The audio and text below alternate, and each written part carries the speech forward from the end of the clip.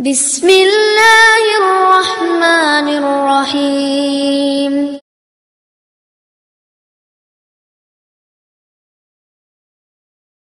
Seorang anak yang selalu meniatkan pekerjaannya untuk bakti pada orang tua, itu Allah langsung jawab di dunia tanpa menunggu akhirat.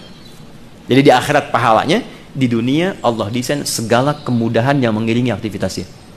Anda kalau sedang eksplorasi, kesulitan dan sebagainya, coba minta doa orang tua Datangi orang tua, baktikan orang tua, itu akan ada pengaruh.